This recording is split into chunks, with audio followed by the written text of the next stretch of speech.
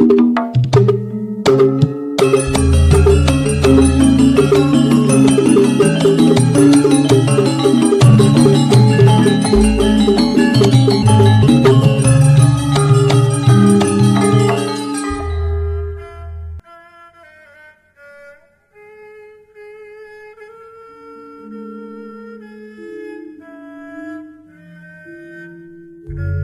Bapak Ibu, kadang kinasih simbah-simbah lan adik-adik, para rama suster bruder berkah dalam Gusti. Sugeng rawuh wonten ing PDSK channel Rama Keris PR menika. Kados pundi kabar panjenengan? Mugi-mugi bagas kasarasan kesehatan kawilujengan tansah mengku kula panjenengan sami anggenipun kelampahi gesang ing dinten menika. Lan mugi-mugi lumantar panglimbang basa Jawi wawasan Injil kula panjenengan sansaya saged gayuh iman kapitadosan ingkang leres lan mantep. Langkung-langkung anggenipun kula panjenengan sansaya saged ngrawuhaken gegambaran kratoning swarga wonten ing alam donya menika. Gusti Yesus lumantar waosan Injil paring pangandika bab kratoning swarga. Sinten ingkang luhur piyambak wonten ing kratoning swarga lan kados pundi relasi gesang wonten ing kratoning swarga.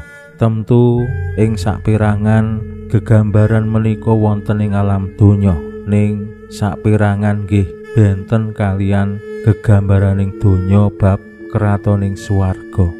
Mila jejering murid dalem kados pundi kula panjenengan? Ingkang tasih gesang ing alam donya menika saged ngayati gesang kasuwargan ing alam donya. Lan yen kula panjenengan limbang-limbang menika babakan sing boten gampil betahaken semangat utawi laku prehatos ingkang ageng lan ugi kasetyan anggenipun ngetingalake kratoning swarga menika wonten ing gesang pasrawungan.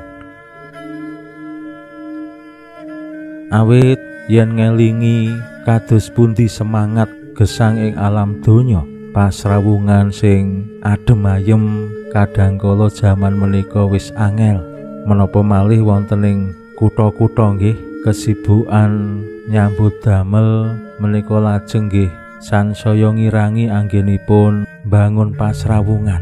Jaman rumiyin rikala alit menika kumpul-kumpul bareng cerita-cerita berkelakar guyon menika tasih keraos antawisipun setunggalan setunggalipun. Yen bocah-bocah menika dolanan bareng betengan umbul ingklik pasaran lan sapanunggalane jaman menika lari-lari pun entek wektune nggo sekolah les lan ekstrakurikuler. Kadangkala nggih sacara umum kula panjenengan wekdalipun nggih telas yen boten nggih nyambut gawe nggih dolanan HP semangat gotong royong kerja bakti bantu binantu menika nggih sansaya kirang.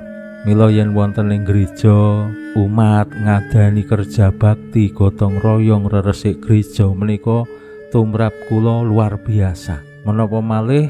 Do sangu dhewe-dhewe. Ana sing gawa wedang ana sing gawa jendal godhog ana kimpul rebus lan lajeng dadi tedha sareng-sareng karo guyon. Nah menika keakraban ingkang jaman rumiyin tansah dijagi lan dirawat. Kados-kados wektu jaman biyen kuwi dawa banget sedina ki rasane suwe. Ning merga ing jaman kula panjenengan sak menika sedina ki rasane cepet banget. Kadangkala wektu nggo guyon wektu nggo kerja bakti gotong royong menika iman-iman banget. Luwih becik tumraping jaman saiki wektune nggo golek duit wektune nggo kegiatan-kegiatan sing ngasilake duit utawa bisa menuhi kebutuhan-kebutuhan pribadi kebutuhan berayat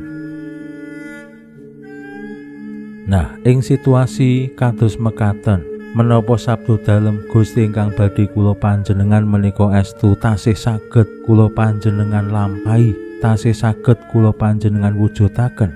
Monggo kita pirengaken sabdo dalem Gusti ing dinten menika lan kita wiwiti kanthi sembahyang sawetawis. Konjo ing asma dalem yang Rama so yang putra tuwin yang roh suci. Amin. Suawi sami munjuk.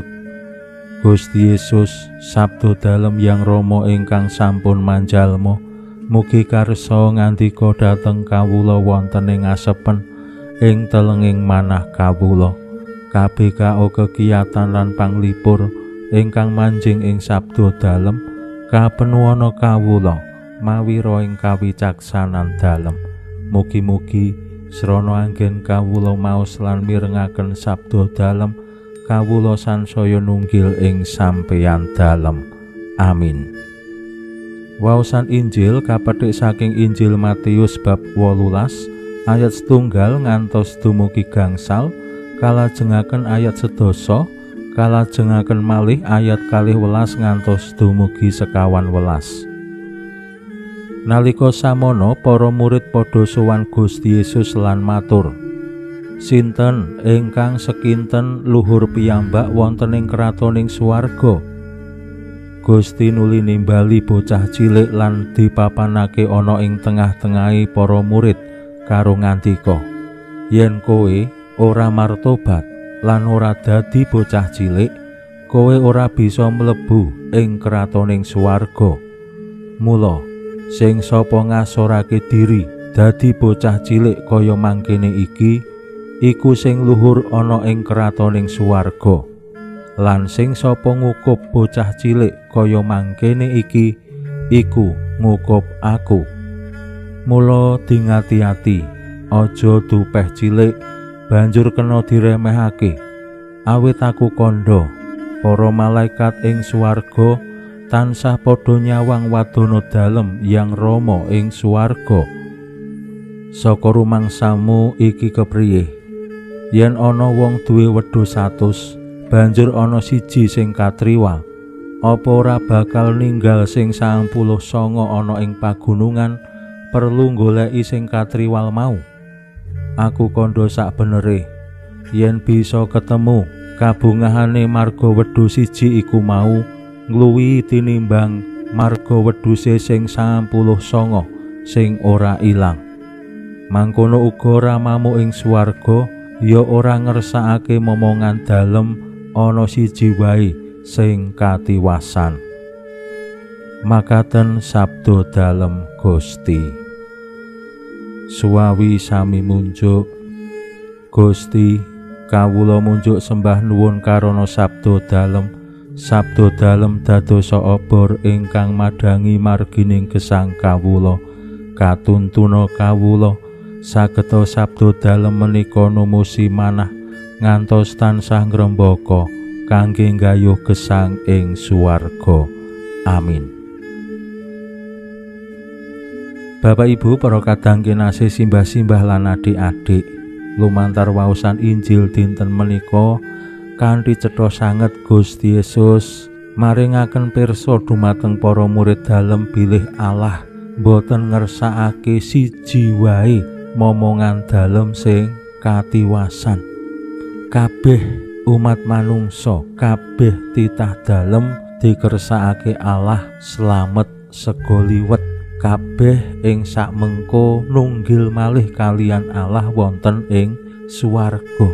Menika kersanipun Allah ning masalahai bilih momongan dalem kula panjenengan sami menika boten sedaya suci boten sedaya tanda kutip tiang sae. Ana sing bandel ana sing nakal ana sing kakean dosa ana sing durung gelemar tobat utawi wonten ing lingkungan ketingal nggih wonten sing aktif ana sing ora aktif wonten sing berperan ana sing ra gelem berperan ana sing dermawan ning ya ana sing cetil nek kabeh mlebu swarga kados-kados Allah boten adil.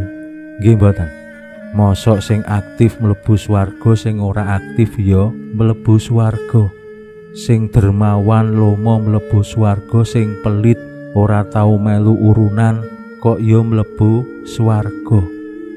Mila Gusti Yesus paring tuntunan kados pundi?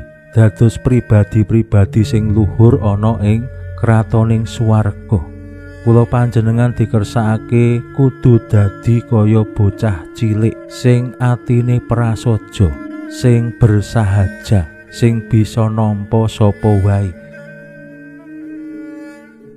Bocah cilik menika dereng gadah prasangka-prasangka kabeh dianggep padha. Lanang wadon gedhe cilik menika dianggep padha. Sugih miskin dianggep padha. Yen bisa ya kekancan kabeh ora milih-milih. Menika lari alit.